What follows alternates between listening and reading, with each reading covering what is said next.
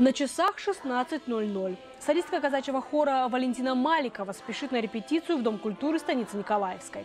И так каждый день, уже почти 60 лет подряд. По признанию Валентины Владимировны, вокальным искусством по нынешним меркам она занялась поздно, в 16 лет. Всю жизнь я здесь проживаю, замуж вышла сюда. И вот с 16 лет хожу на хор. Вот мне уже, ну еще нет 73, ну будет скоро 73. Казачий хор станицы Николаевской ни на день не прекращал свои репетиции, хоть и за более чем полувековую историю пережил самые разные времена. Сложнейшим оказалось отнюдь не перестроечное время. Буквально еще год назад в здании протекала крыша, не было отопления, отсутствовали элементарные удобства. С обогревателями отапливали мы, и даже не без отопления были, ходили все равно на хор одетые, но все ходили. Жители станицы Николаевской звонили во все колокола, писали во все инстанции. Просили обратить внимание на плачевное состояние Дома культуры. Помощь пришла от главы республики. Во время визита в этот населенный пункт Вячеслав Битаров пообещал оказать содействие в решении вопроса. Работники культуры вообще по натуре своей энтузиасты, но иногда уже энтузиазм выходил весь. Уже мы теряли надежду, что когда-то у нас будет возможность работать в полную мощь, э, на сцене давать э, концерты, различные мероприятия, потому что аварийная была крыша, кровля в зрительном зале.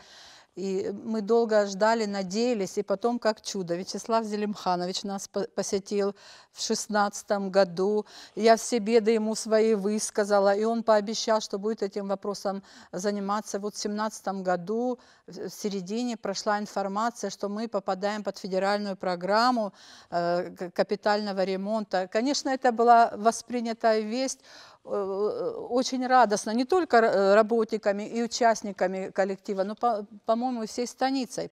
Реализация стратегической роли культуры как духовно-нравственного основания для формирования гармонично развитой личности, сохранения культурного и исторического наследия народа, создания условий для реализации каждым человеком его творческого потенциала. Таковы основные цели и задачи государственной программы развития культуры и туризма на 2013-2020 годы, в рамках которой в нашей республике построено или отреставрировано сразу несколько сельских домов культуры.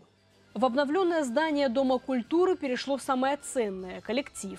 Профессионалы, отличные педагоги, люди с горящим сердцем. Те, кто в самые сложные времена остались верны себе и станице. Раньше, они все энтузиасты своего дела.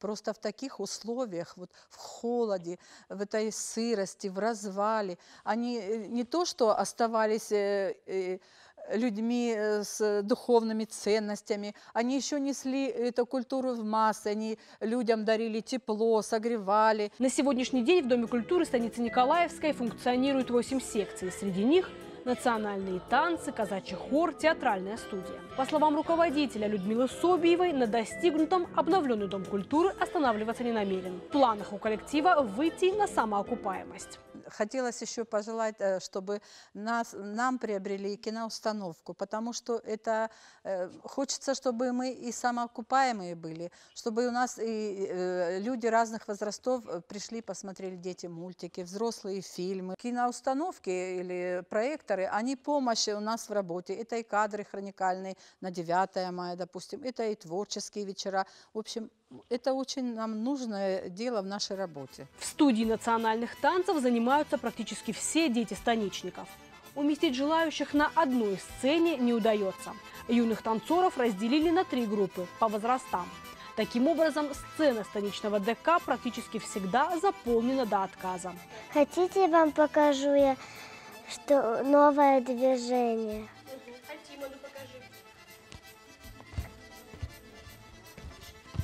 Шестилетняя Элина Майрамова пришла на танцы в местный дом культуры еще до реконструкции здания. Вспоминает, что приходилось заниматься в теплых вещах, так как отопление практически отсутствовало. Сегодня же совсем другое дело. Ничего не отвлекает от любимого занятия, которое обещает стать делом жизни. Это дом культуры, я уже хожу на танцы полгода. Когда я вырасту, я, я хочу танцевать в ансамбле «Алан». Чтобы моя мечта сбылась, я пришла в Дом культуры на осетинские танцы. Меня учитель хвалит, что у меня получается хонга и щим. По достоинству реконструированный Дом культуры оценили не только дети, но и родители. В Дом культуры я привела свою девочку на остинские танцы. Она очень хотела, попробовали, ну ей понравилось, стало получаться. Вот, потом нас закрыли, было в невгодное, состояние здания. Сделали ремонт, стало здесь тепло, красиво, стали кружки здесь делать, и пение, и танцы. Вот, все очень хорошо. Вот, ну, не хватает деткам э, костюмов осетинских, танцевать нам не в чем.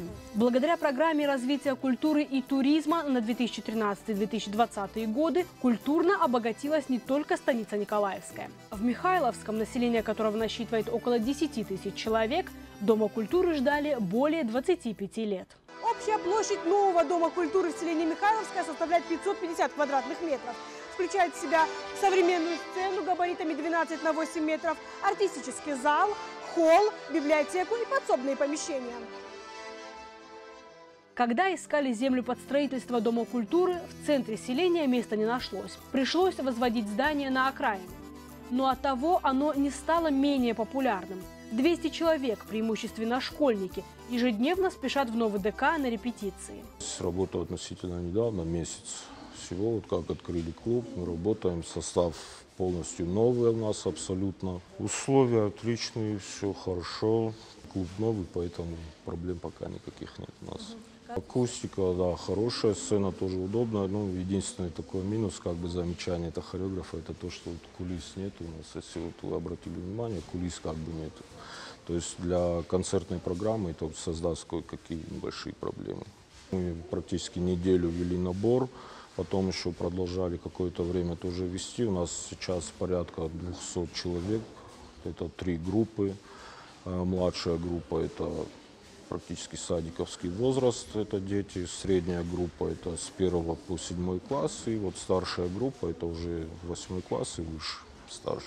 Вершить культурную революцию новому Михайловскому ДК помогает филиал сельской библиотеки. Для большей доступности и популярности его было решено разместить тут же. По словам библиотекаря Эльвиры Маргиевой, особым спросом у сельчан пользуются книги на родном языке, зарубежная классика и детективы. Очень нам здесь нравится. Конечно же, новое здание. Тут светло, красиво, уютно. Э, Школьники ходят сюда с удовольствием. Вот здесь у нас справочная литература.